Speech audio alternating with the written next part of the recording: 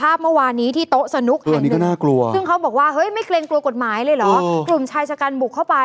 ในวงสนุกที่เขาแบบจะมีลูกค้าอยู่ที่ร้าน ครับแล้วเดินจับผู้ชายคนหนึ่งออกมาคุณผู้ชมนี่แล้วเขาบอกเอาถุงดำคลุมหัว หลังจากนั้นลากออกจากร้านตรงนี้ แล้วเอาไปซ้อมจนน่วมไปหมด คือก่อนหน้าเนี้ยผู้เสียหายให้สัมภาษณ์กับเราเมื่อวานนะคะครับบอกว่าพี่มันน่าจะเป็นเรื่องยาเสพติด อืม เพราะว่าก่อนหน้านี้เขายอมรับ แต่เป็นเรื่องในอดีตแล้วนะเขาเคยไปยุ่งกับแก๊งยา แต่ทุกวันนี้ถอนตัวออกมาแล้ว ไอ้พวกนี้มันตามล่าหาจนเจอค่ะอืมแล้วหลังจากนั้นอุ้มตัวออกไปเพื่อจะซ้อมทำร้ายร่างกาย แต่วันนี้เห็นบอกว่ามีคนให้ข้อมูลบอกเอ๊ะจะจับได้หรือเปล่า เพราะแก๊งนี้เนี่ยเบื้องหลังน่าจะเป็นตำรวจนะอะในพื้นที่จังหวัดนครราชสีมาเนี่ยแหละ คุณผู้ชมคะนี่คือคลิปหลักฐานเมื่อวานนี้เปิดไปละ จังหวะที่กลุ่มแก๊งคนก่อเหตุเนี่ยขับรถมาตรงนี้นะคะ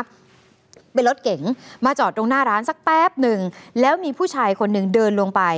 หาทางฝั่งของเพื่อนอีกกลุ่มหนึ่งที่อยู่ภายในร้าน ก่อนที่จะล็อกตัวเลิศนรงผู้เสียหายออกมาด้านนอก ซึ่งเหตุการณ์ทั้งหมดเขาบอกว่ามีการขับพาไปที่ซอยแห่งหนึ่งแล้วหลังจากนั้นซ้อมผู้เสียหายคือเลิศนรงจนน่วมไปหมดเลย โดยเหตุการณ์นี้เนี่ยทางฝั่งของคนก่อเหตุเรียกว่าในเสือ เข้ามากระชากตัวออกไป แล้วมีพักพวกรออีกด้านนอกอีก เป็นสิบพระอันนี้ก็คือตามคลิปหลังจากนั้นเนี่ยก็มีการพาเนี่ยทางด้านของคุณเลิศนรงค์เข้าไปในรถ หลังจากนั้นพอเข้าไปปุ๊บกระทืบเลยหนึ่งรอบ พอกระทืบเสร็จปุ๊บตามคำบอกเล่าของเลิศนรงค์คือปิดตา พอปิดตาเสร็จปุ๊บเนี่ยเห็นมีการบอกพาไปจุดจุดหนึ่งคุณผู้ชมฮะแล้วก็พาทางด้านเลิศนรงเนี่ยขึ้นไปบนชั้นสองพอขึ้นไปบนชั้นสองของจุดที่รุมกระทืบ ปรากฏว่ามันมีคนหนึ่งชื่อว่าในต้น ในต้นเนี่ยมีการสั่งในเสือ แล้วก็มีการบอกว่าให้กระทืบให้หมด คุณผู้ชมฮะแล้วก็ถามว่าเฮ้ย เลิศนรงค์ค่ายาของกูเนี่ยที่มึงติดเอาไว้เมื่อสิปีที่แล้วอยู่ไหน มีการทวงถามเหมือนกันนะว่าค่ายาอยู่ไหน จนสุดท้ายแล้วถามว่าเลิศนรงค์ที่จริงแล้วเขาคิดว่าเขาคงชีวิตไม่รอด แต่จังหวะนั้นเมียโทรเข้ามาพอดี เลยรู้ว่าผัวถูกซ้อมอยู่ตรงไหน เลยแจ้งเจ้าหน้าที่ตำรวจที่โคราชให้เข้ามาช่วยเหลือ สุดท้ายเนี่ยได้รับการช่วยเหลือออกไปได้ แต่เหตุการณ์ทั้งหมดเขาบอกหวาดผวา และฝั่งของร้านสนุกเองเขาบอกหูทำอย่างนี้ได้ยังไงอะเหมือนบ้านเมืองไม่มีขือมีแปร คุณผู้ชมคะกล้องวงจรปิดทางด้านของซ้ายมือเนี่ยคืออันเมื่อวานนี้ที่เปิดไปแล้ว วันนี้กล้องวงจรปิดน่าจะชัดกว่าตัวเมื่อวานมั้ง เป็นจังหวะที่เลิศนรงนั่งอยู่ในร้าน แล้วก็กลุ่มของในเสือเนี่ยบุกเข้ามา แล้วเห็นบอกว่าอุ้มตัวออกไป ซึ่งคนในร้านก็พยายามห้าม แต่พวกนี้มันกันออกไปหมดเลย ก่อนจะถูกควบคุมตัวไป หลังจากนั้นไอ้แก๊งคนก่อเหตุขับรถมอเตอร์ไซค์ไปกลับรถ และเอาตัวไปซ้อมนะคะในซอยเขาเรียกว่าซอย 30 กันยา มีพักพวกที่จอดรออยู่ด้านนอกกำลังรอแล้วก็รุมกันทำร้ายทั้งหมด 10 กว่าคน ล่าสุดวันนี้เลิศนรงค์ให้สัมภาษณ์เปิดใจอีกรอบหนึ่งคุณผู้ชมเขาบอกวันนั้นผมไปนั่งดูน้องเล่นสนุก เหตุเกิดตอนประมาณสักตีสามตีสี่กลุ่มคนก่อเหตุที่เดินเข้ามาภายในร้านนะคะเสือเนี่ยผมรู้แค่ชื่อเล่นเป็นคนอุ้ม แล้วก็มีคนที่เดินมา ชื่อว่าในต้น แล้วก็มีอีกคนนึงทีบผม ชื่อว่าในอันลากไปตามกล้องวงจรปิด อันนี้ชี้ชื่อให้ดูแล้วซึ่งตอนนั้นถามว่าเขาพูดว่าอะไร เลิศอารมณ์บอกเขาไม่ได้พูดเลยเลย เขาบอกมึงมานี่มึงมานี่กระชากผมเลยแล้วก็ลากผมขึ้นรถ แล้วจังหวะนั้นคือไม่รู้แล้วว่าโดนลากไปไหน เพราะโดนปิดตาล็อกคอต่อย แล้วจังหวะที่พาไป ขึ้นไปชั้นสองก็โดนปิดตาไปหมดค่ะ จังหวะนั้นรู้สึกแค่ว่ามีการเอาถุงดำมาคลุมหัวจนผมหายใจไม่ออก แล้วก็บอกมึงอยากตายเหรอ นี่ไม่ใช่บ้านมึงนะ แล้วก็ได้ยินคนพูดเฮ้ยแทงมันเลยแต่มีคนห้ามเอาไว้ คุณผู้ชมคะถามว่ารู้จักกับแก๊งนี้ได้ยังไง เลิศนรงบอกว่าผมเคยไปซื้อน้ำกระท่อมกับเขา แต่ไม่ได้สนิทสนมกัน ส่วนเหตุการณ์เนี้ยคือผมเนี่ย ไม่ได้ขายยาเสพติดอะไรเลยนะ ขายสมัยก่อน 6-7 ปีที่แล้วยอมรับ เคยเป็นเด็กเดินยาติดคุกมาแล้ว ยาล็อตหนึ่งก็ค่อนข้างเยอะ แล้วก็กำลังจะขายประเด็นคือไอ้แก๊งเนี้ยเหมือนกับมารีดเงินค่ายาเสพติดอืมสมัยก่อน ซึ่งตอนนั้นมันอ้างว่าเลิศนรงค์ได้เครดิตขายยาไป1ล้าน ครับเออเราก็ไม่รู้อะเนาะ คือหมายถึงว่าเออน่าจะได้ยาไปก่อน แล้วยาน่าจะมีมูลค่า1ล้านบาท แล้วไม่ได้เอาเงินมาจ่ายคืนให้แก๊งยา ประมาณนี้มั้ง เลิศนรงค์บอกผมอะตอนนั้นไม่จริงเลย ผมขายได้เนี่ยหลักแสน แล้วเหตุการณ์ครั้งเนี้ยไม่รู้เหมือนกันว่ามันไปได้ข้อมูลมาจากไหนว่าผมเคยขายยามาก่อน คือไม่ได้ทำธุรกิจยาเสพติดกับแก๊งนี้นะคะครับเคยโดนจับเรื่องยาเสพติดอะจริง แต่ก่อนหน้านี้รู้จักกับไอ้พวกเนี้ยแค่เรื่องน้ำกระท่อม เหตุการณ์นี้ผมก็มองว่าที่เขารู้ข้อมูลตรงนี้เป็นไปได้ไหมผมเคยโดนจับคดียาเสพติด ก็ไม่รู้ไปได้ข้อมูลมาจากใครหรือไม่ แต่ยืนยันว่าไม่ได้ติดหนี้ไอ้พวกแก๊งนี้แน่นอน ตีตีสามตีสี่ผมกำลังจะกลับบ้าน เสร็จแล้วอะไร ผมก็อยู่คนเดียวผมก็นั่งกำลังจะกลับสักพักมีชายเข้ามาชุดดำประมาณสามสี่คนนะพี่แล้วก็เข้ามา เข้ามาปั๊บแล้วก็อยู่ๆก็มากระชากลากอุ้มผมเลยพี่ขึ้นรถปุ๊บเขาปิดตาแล้วก็ล็อกคอแล้วก็ตบผมต่อยผมเลยพี่ขึ้นรถปุ๊บเขาก็ประกบ แล้วเขาปิดตาล็อกคอผมผมเขาก็บอกว่ามึงสู้มึงสู้ผมก็ไม่ได้สู้อะไรพี่เขาก็ล็อกคอปิดตาผมตบต่อยผมบนรถพี่เขาก็ปิดตาผมเบะลากลากผมผ่านบันไดไปเขาบอกว่า เอามันขึ้นไปด้านบนด้านบนเบะเปิดเข้าไปประมาณมีประมาณคนเป็นสิบอะเบะเขาก็นั่งลงเขาก็ต่อยหน้าผมก่อนเลย ต่อยหน้าเขาก็คนนึงก็ชก ชักมีดออกมา ชักมีดออกมา ถือโต๊ะมามาลุมผมอะมานั่งแล้วผมก็นั่งเขาก็ คุมถุงดำผม แล้วผมก็นั่งอยู่เขาก็ไม่ได้พูดอะไรเลยเขาก็มึงอยากตายเหรอมึงอยากตายเหรอมึงคนที่ไหน บ้านมึงนะเขาก็ว่าไปพี่โอ้โห คุณผู้ชมฮะ ภาพจากกล้องวงจรปิดที่อยู่ภายในร้านสนุกเกอร์ ร้านสนุกเกอร์ไม่เกี่ยวนะฮะ คุณผู้ชมไอ้แก๊งเนี้ยมันมาจากที่อื่น แล้วมาดักอุ้มบอสหรือว่าทางด้านของเลิศนรงค์ผู้ชายคนนี้แหละ คุณผู้ชมฮะ วันเนี้ย คนที่ไปช่วยนั่นก็คือภรรยา แล้วมีการโพสต์เฟซบุ๊กด้วยนะ เรื่องเนี้ยอาจจะไม่จบง่าย ๆ แน่ ๆ เพราะภรรยาของเลิศนรงค์มีการโพสต์เฟซบุ๊กฮะ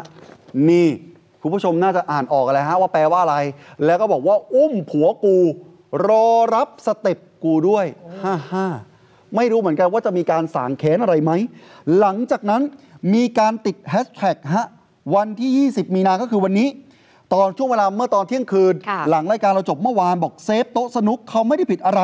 ร้านเขาให้ความร่วมมือส่งกล้องให้ทุกอย่าง พวกที่ไปอุ้มมันคงรอจังหวะร้านปิดคนกลับ ร้านที่สมควรโดนตรวจสอบคือร้านจุดจุดจุดๆแต่เดี๋ยวจะมาบอกเขาว่ามันคือร้านอะไร ส่วนเจ้าของโต๊ะสนุกก็มีการโพสต์ Facebook เหมือนกัน บอกว่าไอ้พวก แม่ ไอ้พวกเฮีย มึงทำร้านกูไม่มีลูกค้าเลย ลูกค้าไม่กล้ามานั่งเลย กูก็จะทำให้มึงไม่มีที่ยืนเหมือนกัน งานนี้ยาวๆแน่มึง ลุงลังเต็มระบบ ไม่รู้เหมือนกันภาษาโคราชเขาแปลว่าอะไรเหมือนกันนะฮะเนี่ยค่ะลุงลังกันเต็มระบบ ส่วนวันนี้น้องรีวายนักคารินทร์ฮะลงพื้นที่โต๊ะสนุก จุดที่เกิดเหตุ ก็มีการบอกเหมือนกันนะฮะไปคุยกับพนักงานในร้าน แล้วก็มีการบอกว่าจริง ๆ แล้วเนี่ยร้านหนูเนี่ยตอนนั้นเนี่ยไม่มีอะไรแล้วนะ หนูก็อยู่ในร้านตอนนั้นนั่งอยู่ในร้านเลย เห็นตามภาพจากกล้องวงจรปิดเลยว่ามีคนกลุ่มที่ก่อเหตุเนี่ยไอ้พวกไอ้เจ้าเสือเนี่ยเดินเข้ามาภายในร้าน รอบแรกเห็นว่ามาคุยกับทางด้านเลิศนรงค์แล้วก็เหมือนว่าเอ้า มันมีคนที่มีการจัดการแข่งขันโต๊ะสนุกเขามีการจัดแข่งกันอยู่ไงตามคำบอกเล่าของเลิศนรงค์ว่ามาดูน้องแข่งถูกไหมฮะ บอกว่ากลุ่มไอ้ของไอ้เจ้าเสือเนี่ยก่อเหตุเนี่ยบุกเข้ามาในร้านล้วรอบหนึ่งมาคุยกับเลิศนรงค์ตอนนั้นเจอคนจัดรายการแข่งโต๊ะสนุกบอกเฮ้ยมึงออกไปก่อน แล้วฝั่งเสือก็ออกไปฮะหลังจากนั้นน้องคนที่เป็นพนักงานในร้านก็มีการบอก มันกลับเข้ามาอีกทีหนึ่งพี่ แล้วมันก็เป็นตามคลิปเลย มีการพูดคำหนึ่งนะ เพราะในคลิปมันบันทึกเสียงไว้ไม่ได้ ตอนที่มันบุกเข้ามาในโต๊ะสนุกเนี่ยมันพูดว่าไหนมึง ไหน คนไหน มึงไปคุยกับกูข้างนอก หลังจากนั้นเขาบอกมีผู้จัด การแข่งขันสนุกเกอร์ในร้านพยายามจะห้ามแต่รอบนี้ฝั่งไอ้เสือมันไม่ฟังฮะคุณผู้ชม แล้วบอกมีการเอามือปิดปาก แล้วมีการโยนในส่วนของเลิศนรงเข้ารถอย่างที่เราบอกไปเมื่อสักครู่ หลังจากนั้นคนสุดท้ายก่อนพวกไอ้เจ้าเสือมันจะออกไปเนี่ย มันหันมาพูดคำหนึ่งกับโต๊ะสนุกนะ ไม่มีอะไร คุยกันเฉยๆหลังจากนั้นก็ไม่รู้อีกเลยว่าชะตากรรมของเลิศนรงเป็นยังไงจนมาออกข่าว บนแล้วมีคนใส่โม่งสีดำเดินเข้ามาตอนแรกผู้จัดแข่งสนุกเขาก็มาเคลียร์ให้พี่เออ ว่าแบบขอเถอะพี่แบบไปคุยอะไรไปคุยกันข้างนอกอืมกระชากไปบอกมึงไปคุยกับกูข้างนอก ไปคุยกับกูข้างนอก อืม ใช่ครับพี่แล้วเขาบอกเราผู้เสียหายเขาบอกว่าคุยตรงนี้เลยพี่คุยตรงนี้เลยอืมใช่แล้วเขาก็ลากไปเลยเขาไม่สนใจเลย อืมแล้วพอพี่คนจัดสนุกเกอร์เขาจะมาห้าม เออมันมีมันจะมีพี่คนหนึ่งใส่เสื้อสีน้ำตาลเดินเข้ามา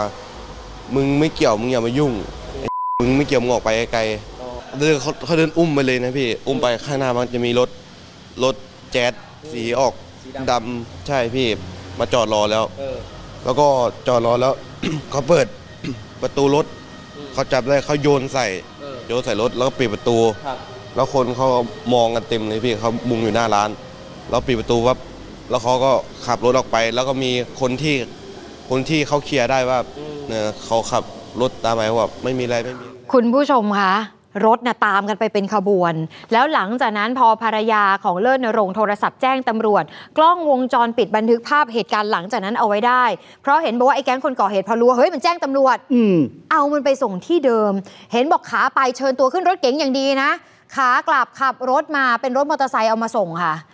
แล้วจะบอกว่ามาส่งที่จุดเดิม ตอนนั้นฝั่งเพื่อนของเลิศนรงค์ตอนได้แจ้งข่าวแล้ว ยืนรออยู่ตรงหน้าร้าน ตอนเอาตัวไปประมาณตีสามตีสี่ใช่ไหมกลับมาตีห้าครึ่งแล้วตามภาพเนี่ยคือเขาบอกว่าน่าจะสะบักสะบอมแล้ว เพื่อนมายืนรออยู่ สักพักหนึ่งเจ้าหน้าที่ตำรวจได้รับแจ้งเหตุมาถึงนะคะตำรวจมาถึงและผู้เสียหายกับเพื่อนๆ ก็คือแจ้งความเลยตั้งแต่คืนนั้น ที่สพเมืองนครราชสีมา ตำรวจขอดูหลักฐานกล้องวงจรปิดตั้งแต่วันนั้นเห็นเจ้าหน้าที่สายตรวจใช่ไหมอืมตำรวจหาหลักฐานไปหมดแล้ว แต่ตั้งแต่เมื่อวานยังไม่ได้จับจนกระทั่งข่าวออกเมื่อวานนี้ คุณผู้ชมคะล่าสุดบ่ายสามพอข่าวออกเมื่อคืนเนาะเออตำรวจสพเมืองนครราชสีมา ได้ทำการเชิญตัว เขาใช้คำว่าเชิญตัว เชิญตัวกลุ่มก่อเหตุมาสอบปากคำมีพี่เสือ มีต้นแล้วก็มีอันสามคนนี้คือตามรายชื่อที่บุกเข้าไปในร้านสนุก ตำรวจคุมตัวมาตั้งแต่บ่ายสามโมง และเห็นบอกว่านี่สวมแมสปิดบังใบหน้ากันหมด สอบปากคำอยู่ 3 ชั่วโมง5โมง40 เจ้าหน้าที่ตำรวจคุมตัวออกมาด้านนอก เห็นบอกว่าวันนี้เป็นการเข้ามาให้ปากคำแต่ยังไม่ได้มีการแจ้งข้อกล่าวหาอะไร อู้หลักฐานเนี่ยไม่ชัดแล้วมั้งเนาะซึ่งทั้ง 3 คนวันนี้ ก็ไม่ได้ตอบอะไรอีกเหมือนกันอืมคือเหมือนกับเดินผ่านจังหวะนี้นักข่าวพยายามสอบถามเอาพี่อุ้มเขาไหมเนี่ย ใช่เรื่องยาเสพติดไหม ลองดูคำตอบค่ะ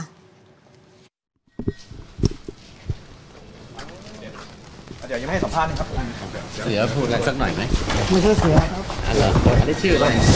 นี่ครับมันยังทำงานเราจะเอาตัวเขาไปแต่พี่พี่ทำอะไรเขาไหมเกิดอะไร ขึ้นอะพี่อะไรกันไหมไปทางนี้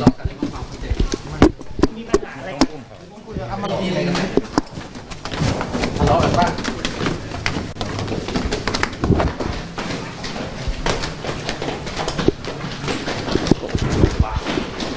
อ๋อก็เปิดตัวเอาพอพอแล้วพอแล้วครับพอแล้วพอแล้วพอแล้วสื่อแล้วโอเคโอเคนี่ คำพูดอาจจะไม่ชัด แต่วันนี้น้องรีวายบอกอ๋อพี่มันตอบผมมาอยู่คำถามเดียว ว่า ผมไม่ใช่เสือ ทั้งทั้งๆที่ถามว่าเฮ้ยเหตุการณ์มันเกิดอะไรขึ้นผมไม่ใช่เสือ ผมไม่ใช่เสือ ผมไม่ใช่เสือ สุดท้ายแล้วคุณเลิศนรงค์บอก ไปลองดูนะ มันอาจจะมีแบ็กดีเป็นตำรวจหรือไม่ แล้ววันเนี้ยตำรวจที่โคราชเดี๋ยวก็ต้องชี้แจงเหมือนกันนะฮะเพราะบอกว่า พอจับมาไม่ได้จับ เชิญมาให้ปากคำว่าเกี่ยวข้องกับคดีนี้ไหม เพราะภาพวงจรปิด แม่ จะพูดว่ามันชัดลากออกไปเลยชัดใช่ไหม ว่าลากออกไปเลย แล้วก็กระทำผิดแบบชัดเจน ค่ะ เมียเขาก็โทรให้ตำรวจไปช่วยแบบชัดเจน มันมีเบื้องหน้าเบื้องหลังอะไรหรือเปล่าทำไมถึงเรียกมาสอบปากคำเสร็จปุ๊บก็บอกอ๋อไปนพยานนะ แล้วก็เชิญตัวกลับออกไปค่ะมันเกิดอะไรขึ้นที่โคราชอะเดี๋ยวตามเรื่องนี้กันต่อนะฮะเออแล้วเลยรู้ไหมวันนี้พยายามถามชาวบ้านเนี่ยทีมงานเปิดภาพร้านกระท่อมขึ้นมานิดนึงก็ได้เออไอ้ร้านน้ำกระท่อมที่ผู้เสียหายบอกว่าผมโดนลากไปแล้วไปเออซ้อมอยู่ที่นั่น วันนี้พยายามสอบถามชาวบ้าน ไม่มีใครกล้าพูดอะไรเลยอ๋อตรงนี้ใช่ไหม ข้างบนข้างที่บน ที่เอาไอ้แสแลนนี่มาปิดเขาบอกเป็นไว้ชั้นสองเออโดนลากขึ้นไปข้างบน ชาวบ้านบอกไม่พูด ก็เลยไม่รู้ว่าสุดท้ายแล้วเนี่ย ใครอยู่ที่ร้านนี้ ตอนที่เกิดเหตุมีใครเห็นอะไรบ้างไหมเห็นเออรถมาจอดมาเกือบสิบคนนะคะ รถเก๋งตั้งหลายคันที่พาผู้เสียหายมาที่นี่ ชาวบ้านบอกอะเดี๋ยวให้ตำรวจจับแล้วกันอะไม่รู้นะไม่เกี่ยวก็ไม่เกี่ยวไม่ได้ไม่ว่าเกี่ยวก็ไม่เกี่ยวไม่ได้ว่าอะไรฮะ เออ แต่ตำรวจก็ต้องชี้แจงหน่อยเพราะว่าผู้เสียหายเขาบอก แก๊งเนี้ยมีแบ็กดีพี่ค่ะอมรินทร์ทีวีลองไปถามสิไม่ไม่ได้คำตอบอะไรหรอก เพราะมีแบ็กเป็นตำรวจหรือเปล่า แต่เราไม่ได้ตรงใจจะโจมตีเจ้าหน้าที่เออนะคะตำรวจดีเราก็ชื่นชมหลาย ๆ ครั้ง แต่ถ้ามีอะไรน่าสงสัยก็ตั้งคำถามแทนสังคมเหมือนกัน